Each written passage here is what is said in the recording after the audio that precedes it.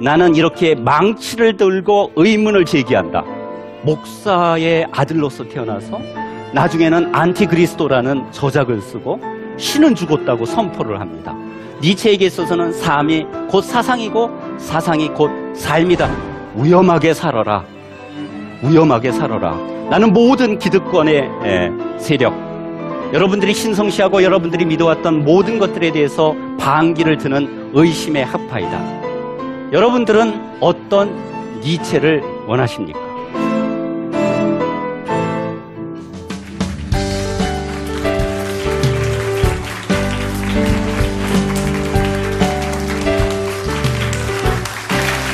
안녕하세요. 예, 이진우입니다. 오늘도 여러분들과 함께 세계에서 가장 위험한 철학자, 또 난해하기 예, 그지없는 철학자, 프리드리히 니체의 사상을 알아보는 두 번째 여행을 떠나도록 하겠습니다. 니체가 위험하다고 여겨지는 것은 어, 우리가 감히 입에 올리지 못하는 그렇지만 곰곰이 생각해보고 극단적으로 끝까지 밀고 가다 보면은 아, 누구나 그래도 수긍할 수 있는 그런 진리를 입에 올렸기 때문이 아닌가 이런 생각을 해봅니다. 니체가 말한 것 중에 가장 아마 우리가 듣기 껄끄럽고 쉽게 수긍을 할 수는 없지만 그럼에도 불구하고 무엇인가 우리에게 말을 하는 그런 명제 중에 하나가 신의 죽음이 아닌가 이런 생각을 해봅니다. 여러분들 다 알고 계시죠? 신은 죽었다. 누가 말했죠? 아, 여러분들은 뭐 벌써 뭐 니체를 너무나 잘 알고 계시는 것 같아요.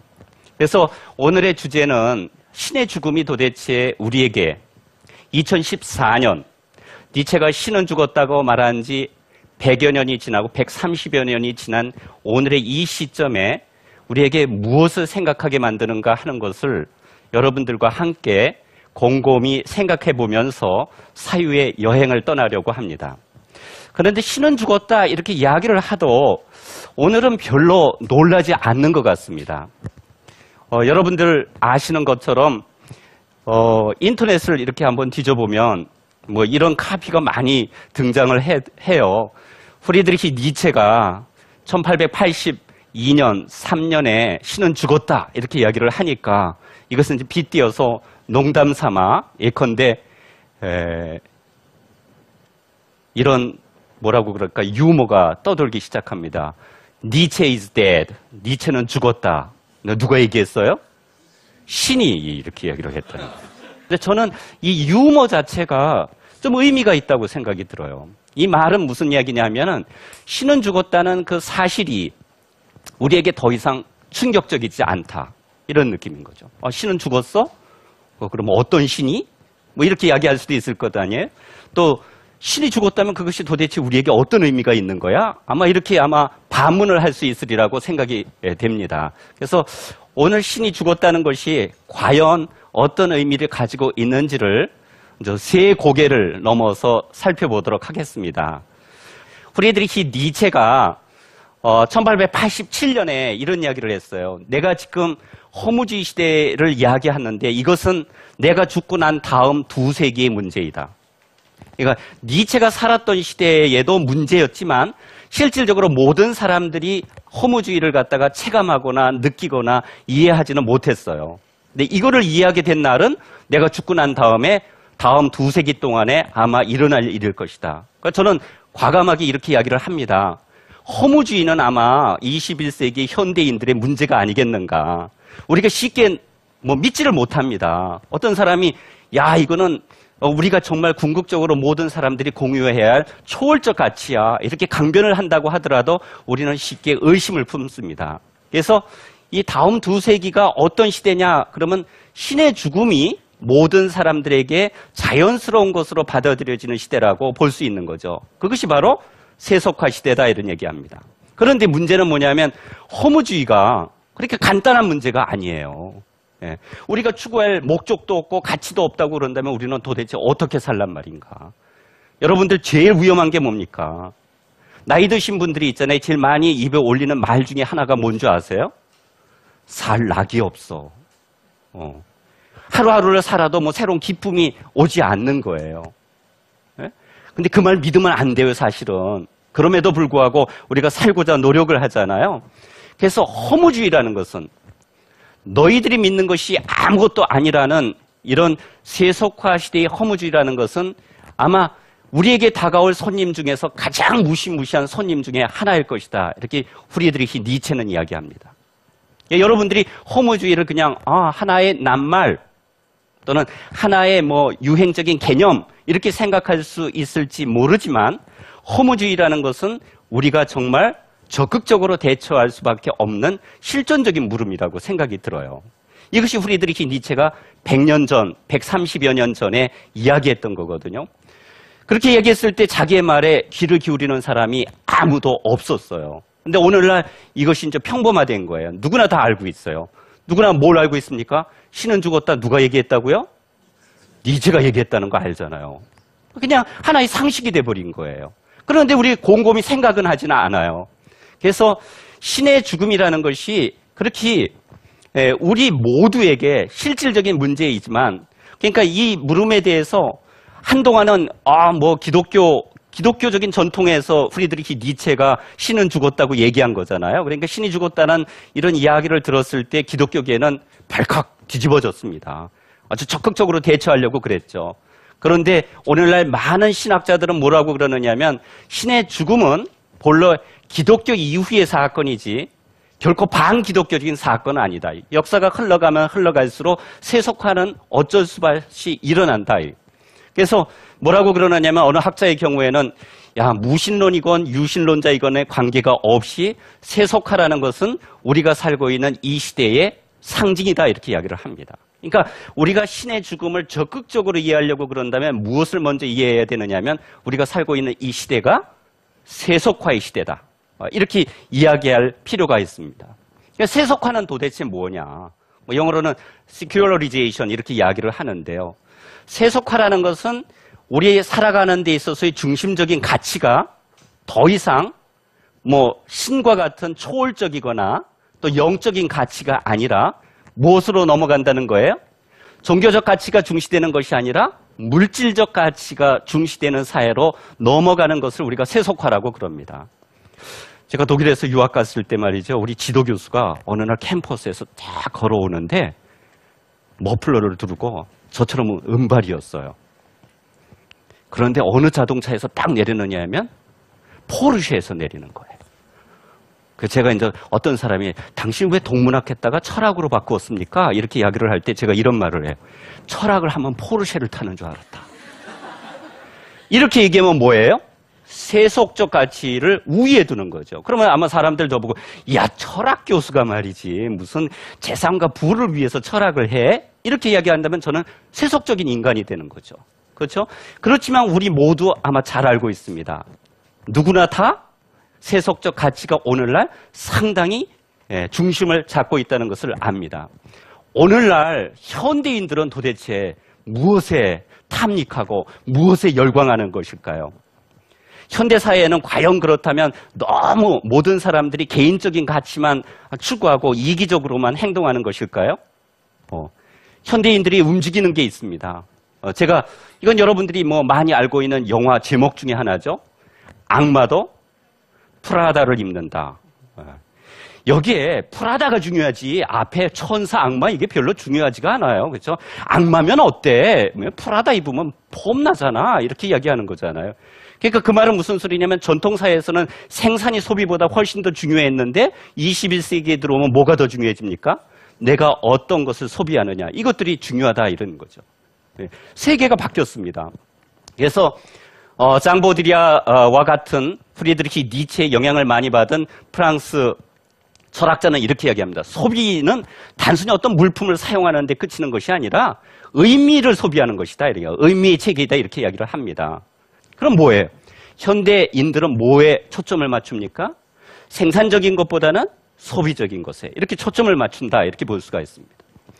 현대인들은 과거의 종교가 모든 사람들의 신금을 울리고 영혼을 움직이고 아주 열광적으로 수많은 사람들을 모이는 이런 역할을 담당했다면 오늘날 어떤 종교 행사도 아마 이렇게 많은 사람들을 모으지를 못할 겁니다. 여러분들이 보시고 있는 이 이미지는 락 페스티벌의 그림인데요. 수많은 사람들이 모이잖아요. 그러니까 우리가 보면 아 신적인 가치, 초월적인 가치 이런 것들은 아 우리가 보통 생각하기에 아 우리가 개인적으로 느끼는 것 넘어가는 것들을 의미하잖아요. 이걸 우리가 보통 숭고한 것, 뭐 고상한 것 이런 것들이 오늘날은 무엇으로 표현되고 있느냐면 스펙타클한 걸로 표현됩니다.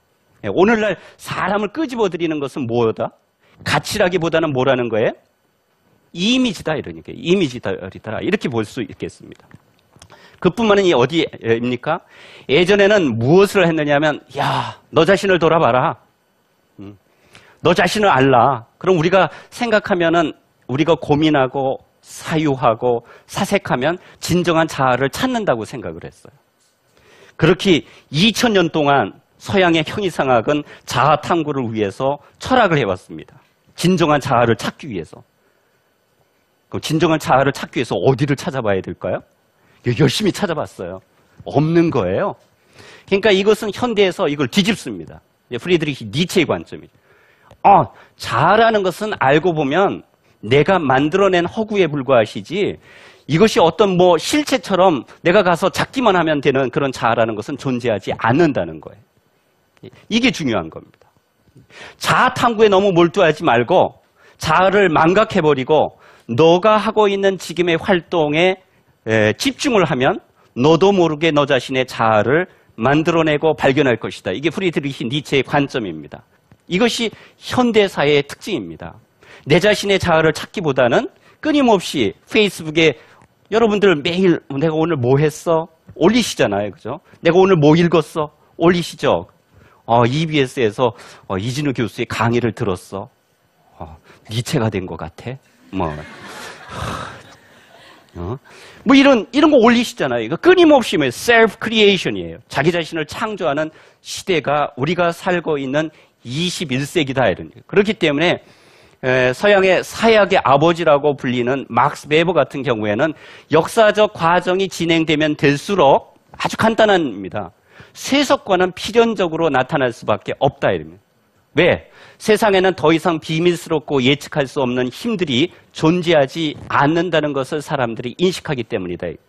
그렇기 때문에 이 현대화 과정을 갖다가 막스 베버는 뭐라고 이야기하느냐면 아 신비로운 힘들이 움직이는 세계가 더 이상 아니라 이런 마법은 더 이상 존재하지 않기 때문에 현대화라는 것은 탈마법화 과정이다 이렇게 이야기를 합니다. 이렇게 우리가 어, 인식을 하면 신의 죽음이라는 것은 프리드리히 니체가 어, 말하기 전부터 이미 뭐 서양의 발전 과정의 필연적 결과로서 어, 보편화될 수밖에 없었다 이렇게 이야기할 수가 있습니다. 그러니까 신의 죽음은 프리드리히 니체가 19세기에 말할 때에도 사실은 사람들은 충격적으로 받아들이지를 않았어요. 이미 17세기, 18세기 자연과학이 발전했잖아요. 뉴턴이 만유 인력의 법칙, 뭐 운동의 법칙 이런 것들을 발전했잖아요. 기차가 발명이 되고 뭐 수많은 어, 새로운 기술들이 우리 삶을 지배하기 시작했잖아요. 그러니까 사람들은 이때부터 뭘 묻지 않느냐면 어, 내 삶의 의미가 도대체 뭐지? 야, 우리는 도대체 무엇 때문에 살지? 이런 왜 질문을 쉽게 던지지 않고 어떻게 하면 부자가 될 수 있지? 어떻게 하면 잘 살 수 있지? 라는 기능의 문제에만 우리가 초점을 맞췄다는 거죠. 이런 상황에서 획기적인 사건이 일어납니다. 저 프리드리히 니체와 동시대에 살았고 또 우리가 살고 있는 21세기에도 어마어마한 영향을 미치고 있는 자연과학자가 있습니다. 누구예요? 찰즈 다윈입니다. 1809년에 태어나서 1882년에 예, 죽었는데요. 찰즈 다윈이 종의 기원에서 이야기를 합니다. 인간은 창조된 것이 아니라 진화의 과정으로부터 생겨난 것이다. 그리고 어, 어떤 조건이 되면 자연은 누가 살아남을 수 있을 것인지를 결정한다. 자연 선택론을 갖다가 제시를 했습니다. 끔찍한 문제잖아요. 기독교적인 가치관에 우리가 어, 지배를 당하고 기독교적인 그런 어, 섭리를 믿어왔던 사람들에게 어 아니야 너는 누구로부터 발전했을 수도 있어? 너는 누구로부터 진화했을 수도 있어? 유인원 원숭이로부터 진화할 수 있다. 이런 충격은 말도 못하는 거죠. 그래서 여러분들은 이걸 아셔야 돼요.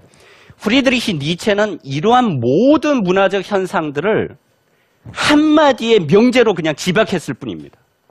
음. 이거 시대 정신이에요. 그 당시 보편화되어 있던 모든 사람이 막연하게 느끼고 있던 인식을 하나의 명제로 심었습니다. 뭐에? 신은 죽었다. 이렇게 이야기한 거죠. 신은 어디 있느냐? 이제까는 그것이 최고의 가치다. 이렇게 믿고 살아왔는데 그것이 어느 순간 아무런 의미도 없는 거예요. 그럼 여러분들은 뭐에 빠집니까? 허무주의에 빠집니다. 저는 과감하게 이렇게 이야기를 합니다. 허무주의는 아마 21세기 현대인들의 문제가 아니겠는가. 우리가 추구할 목적도 없고 가치도 없다고 그런다면 우리는 도대체 어떻게 살란 말입니까?